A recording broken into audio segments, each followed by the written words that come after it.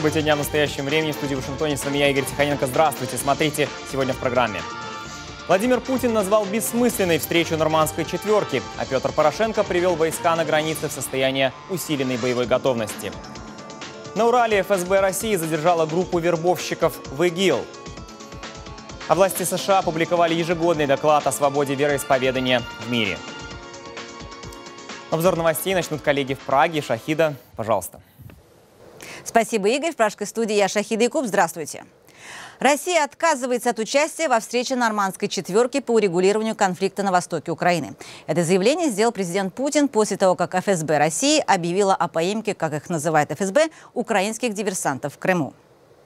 Напомню, что вчера ФСБ России сообщил, что при попытке попасть в Крым сотрудниками Главного управления разведки Украины были убиты солдат-пограничник и офицер ФСБ. В то же время президент России обвинил Украину в использовании, как он выразился, террора. С российской стороны есть потери, э, убито двое военнослужащих. Мы, безусловно, такие, мимо таких вещей проходить не будем. Но я бы хотел обратиться еще и к нашим американским, европейским партнерам. Думаю, что для всех уже очевидно, что сегодняшние киевские власти не ищут способа решения проблем на, на путем переговоров, а переходят к террору. Вот это, это очень тревожная вещь. Президент Украины Петр Порошенко назвал обвинение в адрес Украины фантазией и, в свою очередь, обвинил Россию в том, что она финансирует и поддерживает терроризм на юго-востоке Украины и в Крыму. Порошенко также поручил Министерству иностранных дел инициировать разговор с президентом России Владимиром Путиным, канцлером Германии Ангелой Меркель, президентом Франции Франсуа Оландом, президентом Европейского совета Дональда Туском и вице-президентом США Джо Байденом.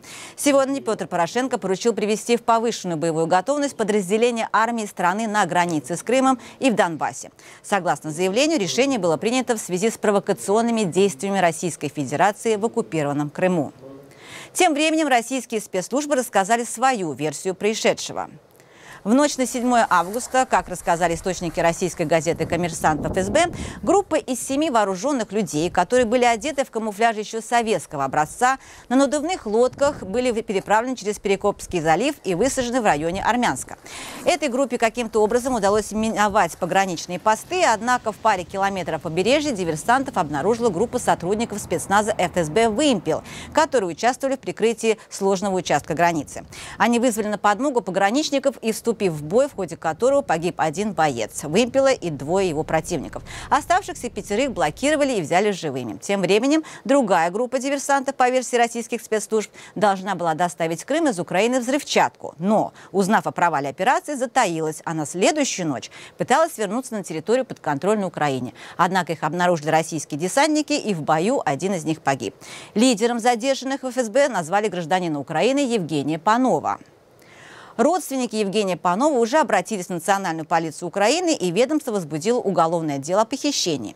Евгений Панов – волонтер из города Электродар Запорожской области. Работал водителем автобуса на атомной электростанции. Он служил добровольцем в зоне боевых действий на востоке Украины. Брат Панова рассказал нашей программе, что Евгений сообщил родственникам, что уедет из города. Возвращаемся к первой теме выпуска. Российские спецслужбы предотвратили целую серию... То есть вот он идет, это Женя. Вот Женя, это Женя, это мой брат. Вот он сидит в наручниках. Республика Крым. Видите, вот он, побитый. Мне скидывают эту ссылку, я не могу поверить своим глазам. Евгений Панов, 77 -го года рождения, а, значит, э, он а, задержан сотрудниками ФСБ, и, ну, то есть я не понимаю, что происходит, я уже там, ну, сразу реакция, да, какая-то, э, какая-то нелепость. Он не мог оказаться в Крыму никак, он не планировал туда ехать, он не мог туда ехать, он бывший атошник, он прекрасно понимает, что он в Крым не въездной. Как он, в принципе, мог там оказаться? Я понятия не имею, это, это загадка. Понимаете, для того, чтобы там оказаться, а, нужно, ну, в том числе пересечь украинскую границу. Моя версия, что их туда привезли. У них там какая-то большая победа, они, короче говоря, поймали какого-то террориста. Я хочу обратиться к Лутковской, к МЗС, к Министерству обороны Украины. Пожалуйста, там находится сейчас, на, на оккупированной территории Украины, находится гражданин Украины, атошник, который оборонял Мариуполь, который столько всего сделал, сколько, я не знаю, ни один чиновник Министерства обороны Украины не может взять на себя и похвастаться этим. Сейчас он находится, он, он по сути пленный, потому что он находится на оккупированной территории. Его взяли плен, его, в плен его обвиняют. Это факт, это не фейк. Сегодня в Симферополе пройдет суд, который выберет меры пресечения для Евгения Панова. Но других задержанных в суде не будет, и их имена российские силовики не сообщают. И это не противоречит российскому законодательству, объяснил нам адвокат Дмитрий Динзе. Скорее всего, по терроризму возбуждено. Там, где террористические акты, соответственно, в свое время был принят указ президента, которым разрешается до 30 суток задерживать лиц. У меня такое было, задерживали человека, и он сидел под стражей в СИЗО 30 суток, пока с ним разбирались. Российские СМИ пишут, что ФСБ отчиталась о раскрытии в Крыму агентурной сети украинской разведки и провела задержание среди жителей полуострова. Депутат Горсовета Энергодара Артем Дубков встречался с Евгением Пановым накануне его отъезда из города в прошлую пятницу. Он рассказал украинским СМИ, что сам отправил Панова в Крым по вопросам бизнеса. Но теперь утверждает, что это не так. Его не так поняли. На интервью нашему корреспонденту он сказал следующее. Э, действительно ли вы отправляли э, Евгения Панова в Крым? Правда ли это? Конечно нет. Конечно нет. Конечно нет. Как я мог бы отправить в Крым? Я сам туда не заезжаю, как я гражданский. А Евгений Пойнов участник боевых действий. Куда его? До первого КП? Чтобы его на пункте пропуска взяли. Да и самое главное, самое главное, Евгений достаточно грамотный человек,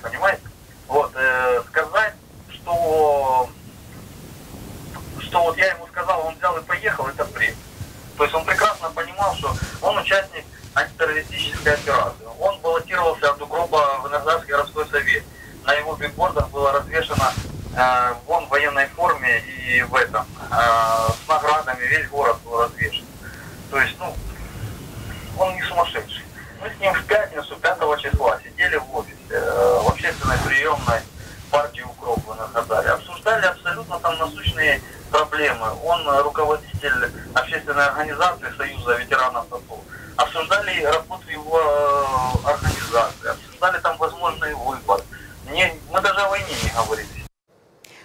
Пограничного пропуска между Херсонской областью Украины и Крымом работают в штатном режиме. Очередей на них нет, сообщил нам советник губернатора Ростислав Супрунов. По его мнению, в области достаточно военных, чтобы не допустить эскалации конфликта. Граница абсолютно спокойна, граница защищена, там достаточно, достаточно всех видов войск для того, чтобы э, не допустить каких-то там эскалаций конфликта. А, никаких конфликтов, собственно, на границе у нас и не было с нашей стороны да, потому что там некоторые журналисты преподали это как эскалацию конфликта. У нас не было конфликтов никогда никаких на границе, у нас абсолютно спокойная мирная область. И снова эфир из Вашингтона. Власти США прокомментировали утверждение российской стороны о том, что украинские военные предприняли попытку вооруженного вторжения в Крым. По словам главы отдела по связям с прессой Госдепартамента США Элизабет Трюдо, Крым по-прежнему украинская территория, и только правительство Украины может давать комментарии по поводу того, что происходит на полуострове. Отвечая на вопросы журналистов в среду, представитель Госдепартамента подчеркнул, что заявления Кремля имеют своей целью отвлечь внимание от агрессивных действий России на востоке Украины. Между тем, сегодня по запросу постпреда Украины в ООН Владимира Ельченко в Совете Безопасности пройдут консультации по поводу последних действий российских властей в Крыму. Вице-президент Вашингтонского центра анализа европейской политики, публицист и писатель Энн Эпплбаум в интервью нашим коллегам из украинской службы «Голос Америки» ответила на вопрос о том, как политические процессы, которые происходили в России после окончания Холодной войны, повлияли на отношения с Западом. После окончания холодной войны Россия отошла на задний план. Запад тогда решил, что становление демократического государства для России – это лишь вопрос времени, и Россия станет частью самого Запада. Надо только дать время. В чем ошибка? В том, что Запад недооценил то, в какой степени Россия перестраивала себя, но не как демократия, а как автократия, как сила, которая, в отличие от Советского Союза, не столь занята экспортом идеологии, сколь подрывом самой идеологии Запада. Запада. В определенный момент, я полагаю, президент Путин решил, что Европейский Союз, европейские ценности, демократические ценности представляют угрозу для него лично и для его власти. Поэтому он и принял решение о необходимости их подрыва. Госдепартамент США опубликовал ежегодный доклад о свободе вероисповедания в мире. Некоторые страны, в частности мусульманские, критикуются за принятие законов, предусматривающих наказание за богохульство и вероотступничество. Особое внимание уделяется также ситуации в Крыму и на Донбассе. В докладе отмечается, что правительства во всем мире продолжали ужесточать административный контроль над религиозными группами и теми религиями, которые рассматриваются как нетрадиционные для данной страны. В захваченном Россией Крыму власти де-факто ввели законы Российской Федерации и подвергли религиозные меньшинства, в частности Украинскую православную церковь Киевского патриархата, Украинскую греко-католическую церковь и крымских татар преследованию, запугиванию и задержаниям. Авторы доклада отмечают, что в Донбассе поддерживаемые Россией сепаратисты похищали, задерживали и избивали членов Украинской православной церкви Киевского патриархата, свидетелей Иеговы и протестантских церквей, угрожали им, а также прибегали к антисемитской риторике. Сепаратисты продолжали варварски относиться к церковному имуществу, захватывать его, провозглашая, что только определенные официальные церкви могут действовать свободно, подчеркивается в документе. В России правительство продолжало предоставлять привилегии русской православной церкви, ограничивая при этом деятельность религиозных меньшинств, таких как мусульмане, свидетели Иеговы, пятидесятники и саентологи. В докладе отмечается, что для ограничения их деятельности власти применяли законы о борьбе с экстремизмом. Правительство Беларуси выборочно отказывало в регистрации некоторым религиозным меньшинствам. Законодательство страны запрещает любую религиозную деятельность незарегистрированных групп, поэтому члены таких общин задерживались, их разговоры прослушивались, а их деятельность контролировалась властями. По мнению независимых экспертов по вопросам религии, многие общины не желают сообщать о злоупотреблениях и ограничениях, опасаясь запугивания и мести со стороны властей, отмечается в докладе. Министерство обороны США впервые предоставило законодателям рассекреченный доклад по лагерю Гуантанамо на Кубе. Доклад содержит досье на 107 военнопленных, пребывавших в тюрьме по состоянию на конец прошлого года. Часть из них уже отпущена на свободу. Документ, несомненно, вновь подстегнет дискуссию в американском обществе о будущем этой тюрьмы. Тем продолжит Вадим Оленчев. Отдельные данные о составе заключенных тюрьмы Гуантанамо время от времени появляются в публикациях администрации США, в новостных сводках и в документах судебных органов. Но специально составленный доклад по американской базе военнопленных на Кубе Пентагон сделал достоянием гласности впервые – Инициатором рассекречивания досье на заключенных тюрьмы выступила член Сената США Келли Айоте. Сенатор-республиканец от штата Нью-Гэмпшир уже несколько лет добивается большей прозрачности в отношении Гуантанамо, где содержатся лица, подозреваемые в терроризме и их возможные пособники. В электронном послании сенатора Айоты по этому поводу сказано следующее. Доклад Пентагона представляет американцам сборник рассекреченных данных относительно опасных террористов, которых администрация США недавно выпустила из Гуантанамо на свободу или намерена сделать это в скором времени. Новостное агентство Associated Press, с которым вошел в контакт офис сенатора Айоты, опубликовало детали досье на заключенных. Из него следует, что некоторые из них провели там более 10 лет. Часть из них скоро может быть депортирована в другие страны, так как законы запрещают переводить их в обычные тюрьмы в США но подавляющее большинство подозреваемых, еще не представших перед судом, входит в группу повышенного риска. Говоря проще, почти наверняка вернется в ряды воинов джихада сразу же после освобождения. Вместе с тем отношение к тюрьме в Америке неоднозначное. Отдельные узники, арестованные по подозрению в терроризме, так и не были отданы под суд. Кое-кто провел на базе годы и в конце концов был освобожден без предъявления обвинений. Этот факт дал правозащитным организациям повод утверждать, что права таких заключенных были грубо нарушены и требовать от властей США закрытия тюрьмы. Руководители служб безопасности отвечают на это, что у них имелись достаточные основания основания на поимку каждого из заключенных. Известно, что 13% тех, кто были освобождены за время президентства Барака Обамы, или вернулись в ряды джихадистов, или вновь подозреваются в террористической деятельности.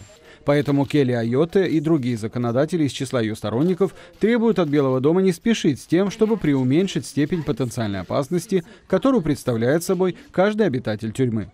На сегодняшний день в Гуантанамо содержится 76 заключенных. Вадим Оленичев, Андрей Дегтярев. Настоящее время. Вашингтон. Врачи из сирийского города Алеппо обратились к президенту Обаме с просьбой оказать помощь 250 тысячам местных жителей, пострадавших от конфликта. В письменном обращении медики заявляют, что если авианалеты на больницы продолжатся, то через месяц в регионе не останется ни одного медучреждения. Врачи просят Обаму установить бесполетную зону над Алеппо. Между тем, на днях начальник главного оперативного управления российского генштаба Сергей Рудской сообщил о том, что с четверга в Алеппо ежедневно на время прохода гуманитарных колонн с 10 до 13.00 будут прекращаться все боевые действия. Однако в ООН заявили, что трех часов недостаточно для оказания помощи нескольким миллионам человек и попросили о паузах в 48 часов. Восточная часть Алеппо продолжает удерживаться силами повстанцев, и в последние дни бои в районе города усилились. Россия и Турция предпринимают беспрецедентные шаги, касающиеся прямой координации действий в Сирии после потепления отношений между их президентами и несмотря на разногласия по вопросу о поддержке Дамаска. Министерство обороны РФ сообщает, что российские бомбардировщики Ту-22М3 нанесли нанесли авиаудар по позициям ИГИЛ в районе Раки, который считается основным оплотом террористической группировки. Это уже пятый удар дальней авиации в Сирии за месяц. Тем временем исламское государство терпит серьезные потери и в Ливии, где, как заявили в среду повстанцы, при поддержке авиации США они отбили у террористической группировки стратегически важный город Сирт, находящийся на берегу Средиземного моря. Если информация подтвердится, то сдача прибрежного города станет серьезнейшим ударом для группировки в ее попытке закрепиться в Северной Африке. И в продолжение темы ИГИЛ. Кандидат в президенты США Дональд Трамп, выступая на предвыборном ралли в штате Флорида, назвал Барака Обаму основателем исламского государства. По словам миллиардера, ИГИЛ во многих отношениях почитает Обаму. Стоит также отметить, что ранее в основании ИГИЛ Трамп обвинял бывшего госсекретаря США и своего нынешнего политического оппонента Хиллари Клинтон. Теперь к новостям из России. На Урале сотрудники ФСБ раскрыли сеть вербовщиков террористической организации ИГИЛ.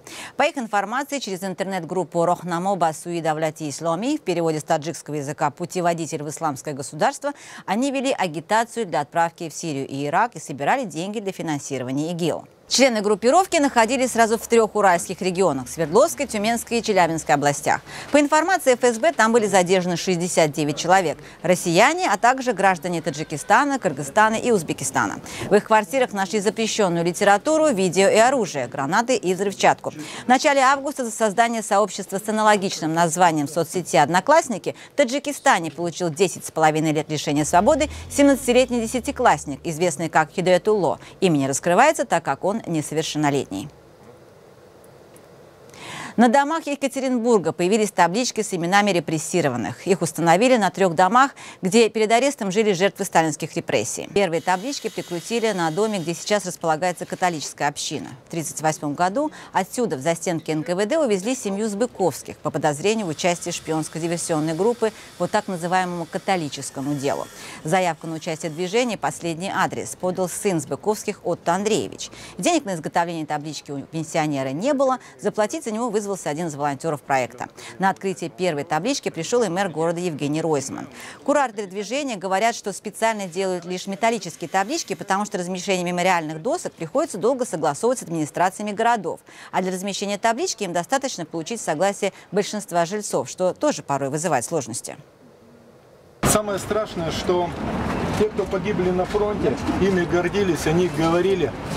А те, кого вот так ночью увели, о них молчали до конца 80-х, скрывали, боялись. Мало того, они умерли оболганными, ошельмованными. И никто не знает, где закончился их путь. Но хотя бы здесь понятно, откуда этот последний путь начался. Это очень важно. Жители Цунтинского района Дагестана вынуждены иметь при себе документы, даже выходя на синокос или выезжая в гости в соседнее село. Все дело в том, что район граничит с Грузией, и посты по всему району вносят изменения в привычный быт сельских жителей. Подробности в репортаже. Так, документы все взяли, паспорта, что там у вас? А вдруг мы на дальний участок пойдем? Для Магомеда Закаряева стало нормой выходить из дома, взяв с собой паспорт. Ведь иначе простой путь на синокос или на выпас скота может превратиться в сложную процедуру по установлению личности и прописки. Дело в том, что Магомед живет в селении Генух Цунтинского района, и от его дома до границы с Грузией чуть больше 20 километров. Еще не так давно люди пасли скот, косили сено и заготавливали дрова почти на границе, но после чеченской кампании и событий 99 -го года граница между Россией и Грузией перестала быть формальностью. Теперь косить сено или собирать ягоды зачастую приходится с паспортом в кармане. Официальной причиной таких строгих правил называют постоянное нарушение границы преступными элементами. Впрочем, с этим Магомед не согласен. Итак, у нас э, границы открытые сейчас, э, есть другие точки тоже есть. Если имеется в виду там э, преступности, там что-то станет больше, к нам больше зайдут, выйдут, там как это, это никак нереально. У нас очень надежно закрыты границы. Как говорят другие местные жители, ситуация с ограничением на въезд и передвижение по району являлась раздражительной для местных жителей. По мнению жителя селения Шаури Абусупьяна Абдурахманова, который прописан и живет в Санкт-Петербурге, закон требовал, чтобы перед поездкой в родной район он получил разрешение на въезд, а для этого нужно потерять несколько дней. Но благо эту процедуру упростили. После появления нашего района в заграм составе, конечно, раздражала ситуация, когда у тебя спрашивают паспорт. А, живя в России, думаешь себя, как будто бы ты живешь за границей. Конечно, сложности тут в горах существуют всякими боевиками, но народ это не чувствует. Едешь, проверяют, э, свое дело делают люди. Нахождение в приграничной зоне требует от населения ответственности и некоторых ограничений, считает администрация района. Они совместно с силовыми ведомствами и пограничниками ведут разъяснительные работы для того, чтобы предупредить всевозможные сложности и недоразумения. Есть какие препятствия со стороны пограничной службы? Пограничной службы препятствий нет. Но законно они действуют. Надо иметь куда я иду, у меня паспорт в руках, разрешение, или я в лесу иду, или я в горы иду. Ну надо же согласоваться и с ними тоже. Закон есть закон. Препятствий и так далее. Препятствий нету, если у тебя ничего нету в руках. Препятствия бывает. Здесь объясняют, ходят они, и говорят они, приходи, получай разрешение. Местные жители уже привыкли соизмерять свой быт с нормативно-правовыми актами пограничных служб. Однако неудобства в взаимоотношениях жителей района и пограничников остаются. К примеру, если скот на выпасе забредет на нейтральную зону, забрать его обратно уже проблематично. Такая же проблема и у заготовщиков дров на сенокосе. Народ хоть и относится с пониманием к работе пограничников, но трудности и недопонимания остаются. Халид Амаров для настоящего времени. Ной Волков – известный российско-американский художник и скульптор. Некоторые искусствоведы считают, что он поворачивает время вспять, смешивает жанры и эпохи, соединяет несоединимое. О своей жизни и творчестве рассказывает сам художник в материале Ануша Витисян и Сергея Москалева.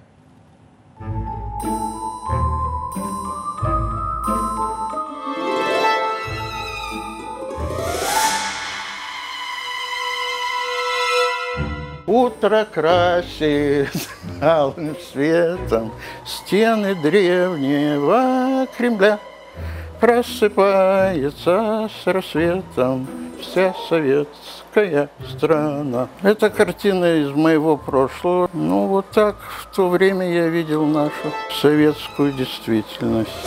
Ну вот, выяснил, что у меня вместо мозгов чай. Тут видно? Да, чай видно. Но если попробовать еще раз проверить. Черт, никак.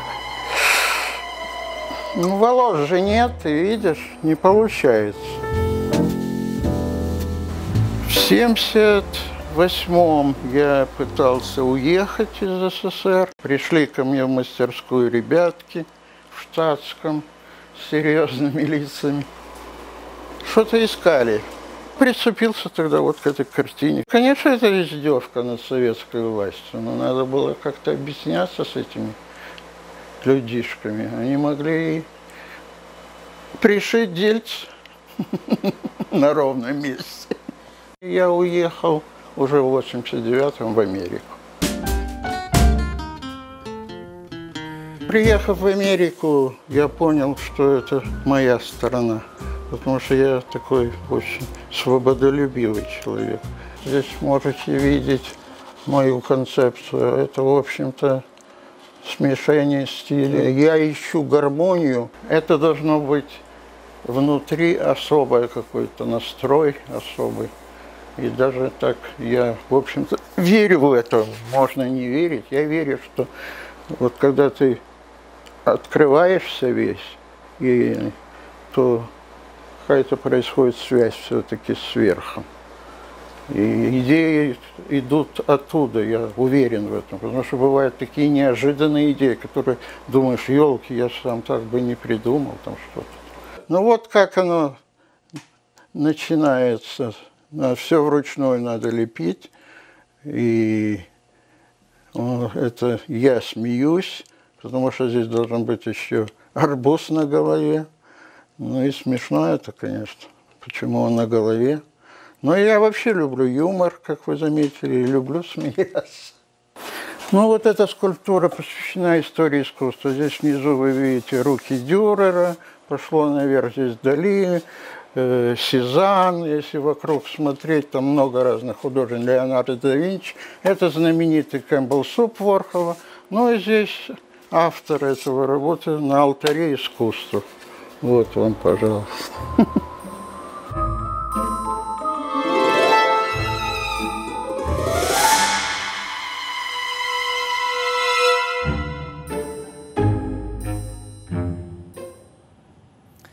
И в заключение программы о противоречивом. Защитник бедных и враг богатых. Экс-кандидат президента США и главный социалист Америки Берни Сандерс не любит роскошь и вычурность. Именно на этих принципах была выстроена его предвыборная кампания, вызвавшая поддержку миллионов американцев. Однако на днях стало известно, что социалист Сандерс приобрел летний домик на озере Шамплейн за 575 тысяч долларов.